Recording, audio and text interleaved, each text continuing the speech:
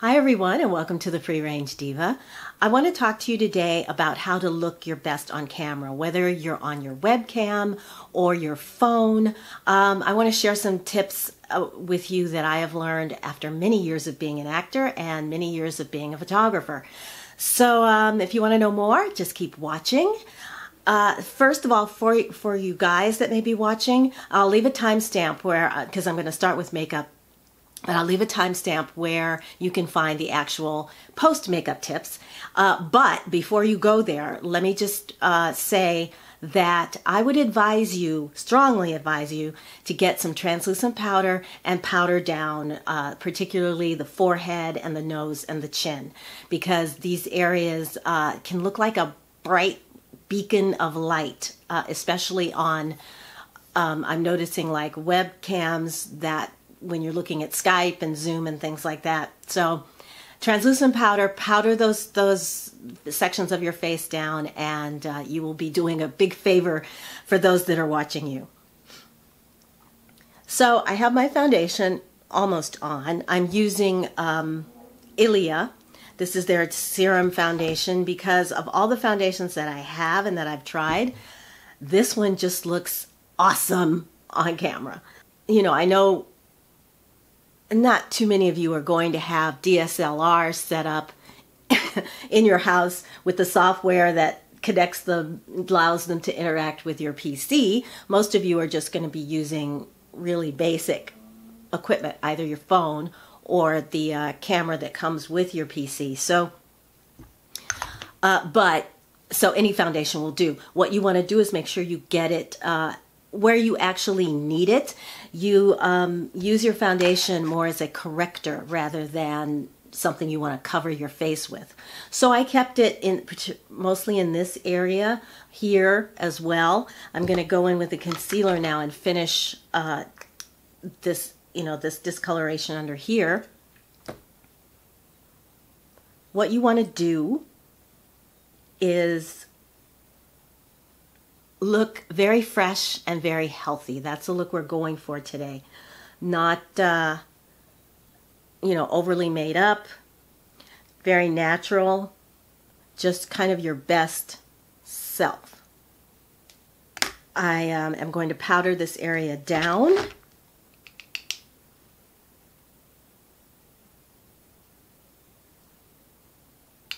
I'm also going to hit the nose and the chin with a little bit of powder. So when you're doing makeup for this kind of thing, forget your contour. The idea is you want to look fresh, you want to look healthy, even if you don't feel fresh or healthy.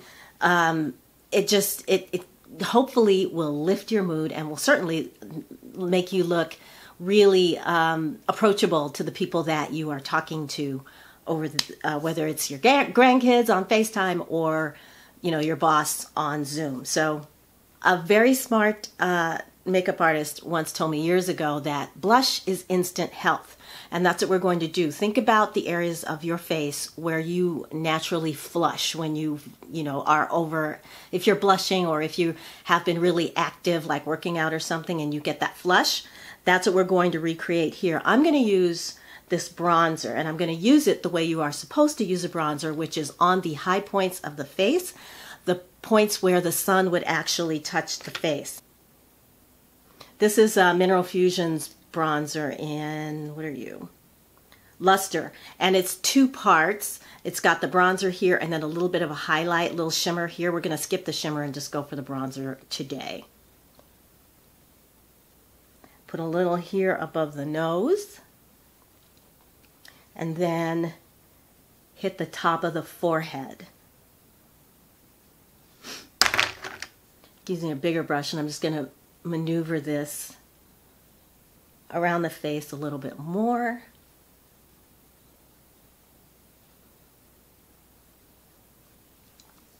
And then um, because of the fact that we've all been indoors a lot more, we might be looking a little corpse-like, like, and this bronzer will bring life and warmth back to the face.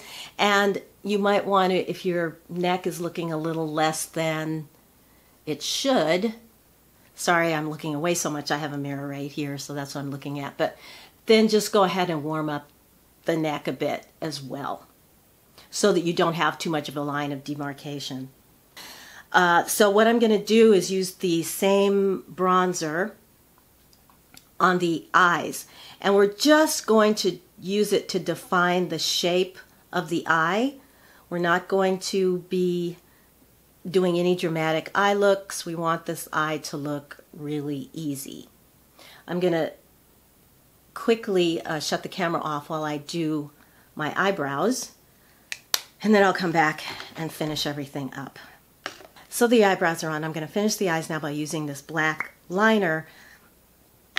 Just at the lash line, we're trying to uh, just define the shape of the eye. So let me get in close and do that.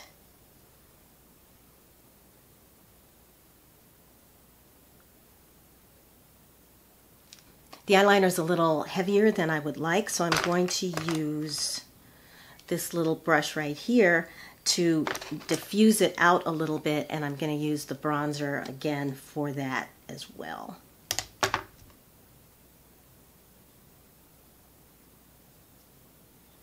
So you may or may not know that, um, yeah, I'm an actor. Uh, I have been doing that for the last, oh my God, 10, 15 years, well, even longer than that before I moved back to LA. Um, but when I was 25, I lived in Hawaii and I worked there as a camera girl, taking pictures of. I'm going to put, I'm going to use this underneath the, uh, the, the lower lash again, just to help define it. This is brown. This is a brown shade from Alima Pure. And yeah, I, I took pictures of uh, tourists. I primarily worked with Japanese tourists because I lived in a boarding house and one of the staff members there was from Japan and so she taught me enough Japanese so that I could do the job. Although I've forgotten most of it now. Dozo waratte kudasai. Uh, so, um, so, but, and it was fun and, and I was pretty good at it, especially because I could, I had a ability to help people relax in front of the camera. And so when I moved back to LA, mascara from Physicians Formula, I uh, went to work as an intern with two different photographers. One was primarily fashion, and the other did uh, still um, advertising shots, still shots of products for billboards. So uh, I learned a lot about lighting, uh, outdoor lighting, indoor lighting, uh, and and then about six months later, I got the opportunity to uh, I went to work for a company and uh, was given my own photography studio. It initially when they hired me, it was in sales because I was obviously had a thing. I was very good with people, but um, and also they had never hired a female photographer before because the work was was uh, it was it was hard. It was physical you know hard physical work because of the the technique that they used for shooting. However one of the other photographers went to bat for me and i got the training and then eventually i got my studio. So okay i think the eyelashes are on. Let me just double check. So a lot of the tips that i'm going to be talking to you today about are come from that background as well as the fact that I've also worked with makeup artists and done a lot, quite a few makeup on camera makeup workshops as well. Uh, lipstick. I have a new lip color here from Color the World. This is called Sunset. Pretty coral. Everywhere you look these days, you're seeing a lot of coral lips. So uh, uh, I the last time Color the World had a sale, I went and I got two new coral, uh, their coral lip shades. Let's start by outlining these lips, okay? I had on a, had on a little bit of lip balm when I started this uh, tutorial.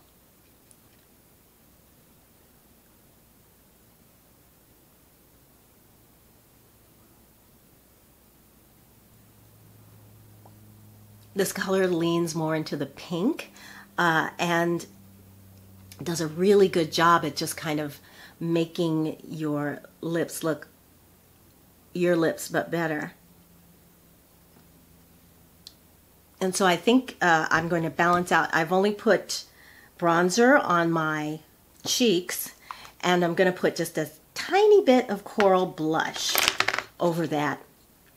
Looking at it uh, here in the mirror, it, uh, yeah, it needs a little bit more balance. So, a little bit of coral. Soften that up a bit.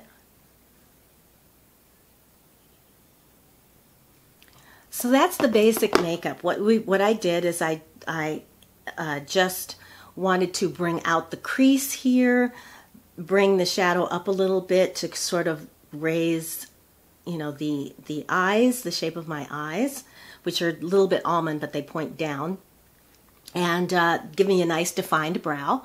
And now we're ready to go. So to sum up for makeup, keep it light, make it sheer to medium coverage, place it only where you need it. Think I'm correcting, not covering. Control your glow, so no highlighter. Um, you know, use powder where you need it. Bronzer on the high points of the face, and uh, keep your lip color whatever you know whatever you like whatever your lips but better think think that. But you know, like if your look if your lips look better in red, then go with the red. Uh, okay. So tip number one, keep your camera is camera angle. You want to place your camera about how far about maybe three to five feet away from you and position it so that the lens is about two inches above your eyes. What this does is it allows you to look directly into the camera without uh, looking up or down. It should your eye level should meet the camera um, in a more natural way, as if you were actually looking into somebody's eyes as you talk. I'm going to take the camera off my tripod here and show you what not to do. so this is about the correct eye level. If your camera is too high, it's you just look strange. You know, you look like you're looking up at somebody. And if it's too low, well, let me just show you. Yeah, need I say more?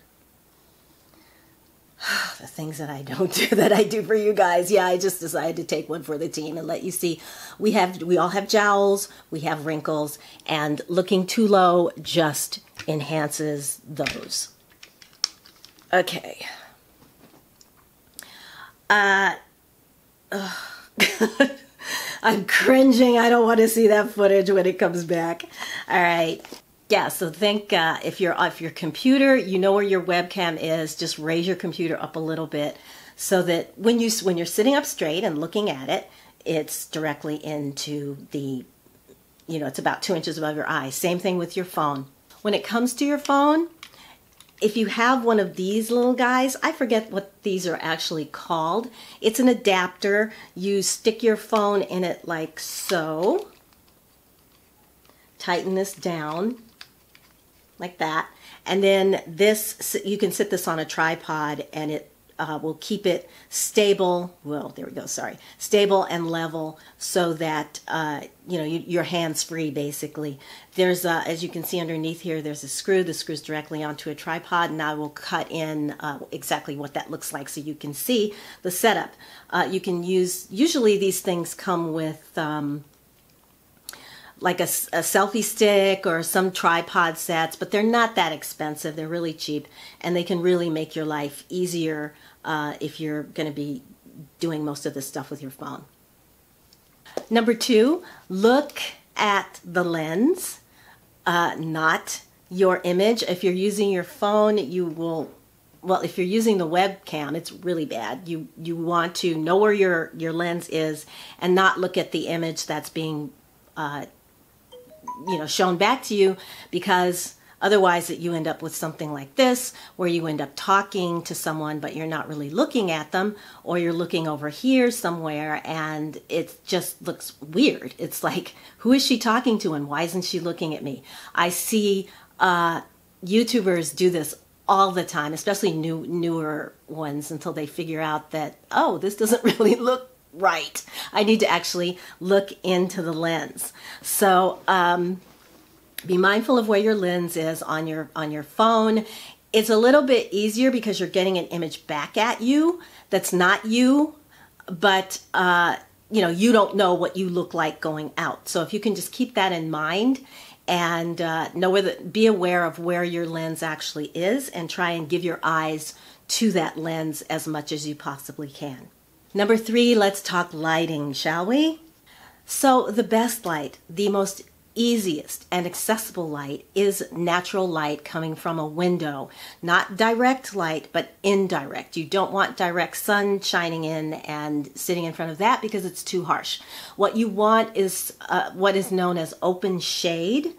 Um, it's if you shoot outside, uh, and you're shooting under a tree, that is open shade. So you're getting a diffused, indirect, gentle light. And I can tell you this light um,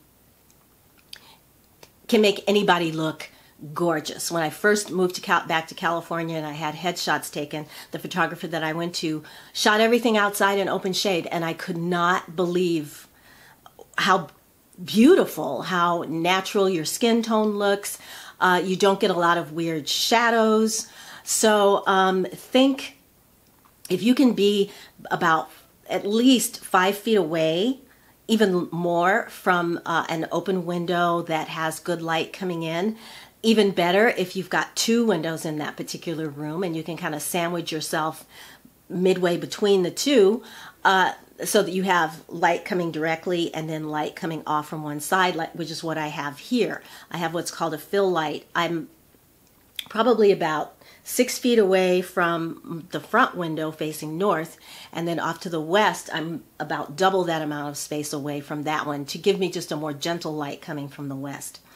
And so, what that does is it helps fill in uh, shadows that you don't, that like your you know lines on faces and you know, other wrinkles and things like that that you don't really want highlighted you want softened if your lighting isn't that great feel free to, to use a lamp, particularly if you have a lamp with a white shade. Uh, again, about three to five feet away from you. Maybe not directly, but slightly, instead of being straight on, slightly off to the side like this. And use an incandescent bulb, that's fine. It will give you a warmer light. It can help augment. I often do that here if it's, you know, not a particularly, if it's a grayer day or something it uh, again will give you more light and help uh, so, you know soften the, the planes of the face. Don't get too close to either a lamp or your window because you will get blown out, which is it'll just be like washed out, totally white and highlighted, and we don't want that. If wherever your room is, move around the room a little bit and really look at what at the quality of the light that's coming in. Uh, I noticed that my the camera on my tablet and on my phone tends to be very very uh, contrasty. Uh, it really picks up. It really like augments whatever you know, it gives you a deep saturation, I guess, of colors. And so that just augments the sh- shady parts and not so much the highlighty parts. So just be aware of that. You might need to move closer uh, uh, to, a, to your light source depending on what your camera's doing. Um, those of you who have the iPhone higher numbers, Get, those cameras are awesome. You don't even have to worry. Just get in front of, you know, like about six feet away from a five to six feet away from a window, and you're going to look great. And before I leave the subject of light altogether, if you happen to have a box or anything that's white, put that uh, on your desk under your chin. Uh, you know, right in front of you, because what this will do, and I will put it here and hopefully you can see, is it throws any light that's coming from above here. There, I just uh, turned on the overhead. It'll bounce that light back up into your face, and that will then give you a. Sorry, I wasn't looking at you. Let's do what I say, don't do what I do. Uh, yeah, that'll give you.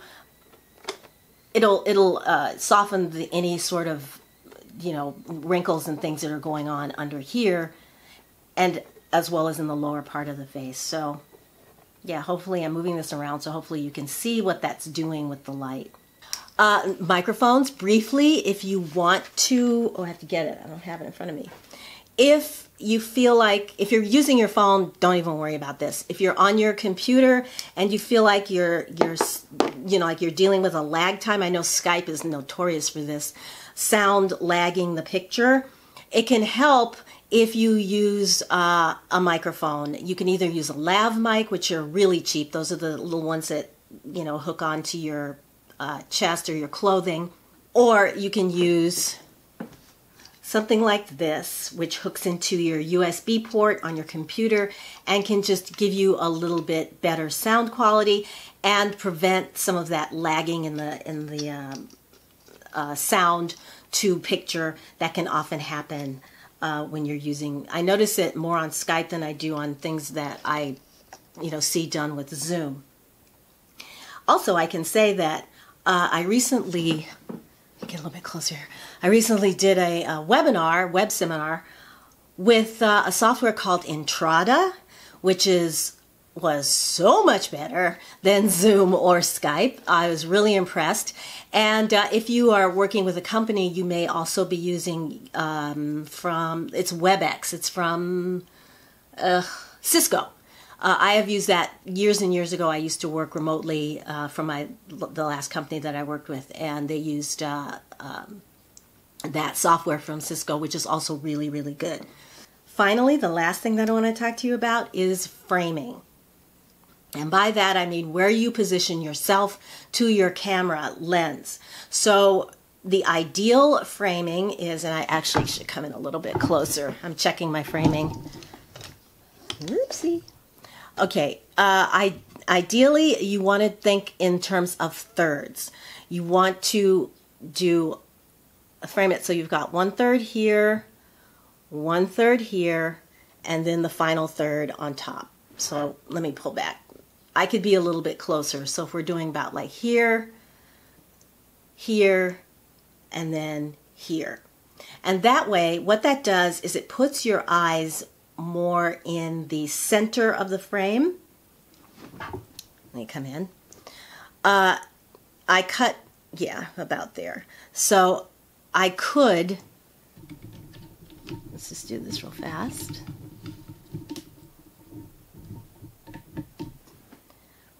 Bring that up a little bit and that raises the eye level a little bit as well. And now I am more balanced in the frame. And that's really what you want, especially if you're doing conferences. You don't want to be way up here, you know, like this talking head with very little chest. Uh, you want to look more like a, um, like, again, like you're having a conversation. On your phone, just try and uh, you are going to look like a talking head, but that's okay. Uh, you're the nice thing about uh, uh, the, the, camera technology today is that no matter where your eyes are, your autofocus is going to go immediately to them, and so you're going to be in focus whether you're close up here or a little bit further back. But again, for conferences and and uh, webinars and things like that. Um, be you know this is a this is a this is really really important especially because you want the attention on your eyes. Uh, and so that's going to wrap it up. Any additional in terms of background keep it you know not too busy don't make it too busy. Clothing again stick with solid colors. Brighter colors are going to make you look healthier on camera. Uh, and um, less likely to scare the, the grandkids. and uh, again, colors that are comp that complement you. I would avoid white only because it can wash you out. Um, but then again, most of the modern cameras, like again, if you're using the iPhone 10, 11, whatever, don't even worry about it. Uh, just stay away from patterns would be my, my suggestion um, so that it's not too distracting, especially if you're moving around. Okay, everybody, uh, I hope this video was helpful. Um, and, you know, even if you're just just Skyping and, and, and, you know, FaceTiming with the grandkids, again, you want to look your best. You don't want to make them think that, oh my God, what's wrong with, why does grandma look so awful today? So, uh, or grandpa. So, um, yeah, so if you enjoyed this video and you found it helpful, I'd really appreciate a thumbs up. If you haven't subscribed and you'd like to see more content like this, then please subscribe. I put out videos on uh, every Tuesday, and sometimes I throw in some extras during the week too. So, um, yeah, until I see you again in my next video, I'm wishing you a wonderful day, wonderful week. Take good care of yourselves, and I'll talk to you again very, very soon. Bye!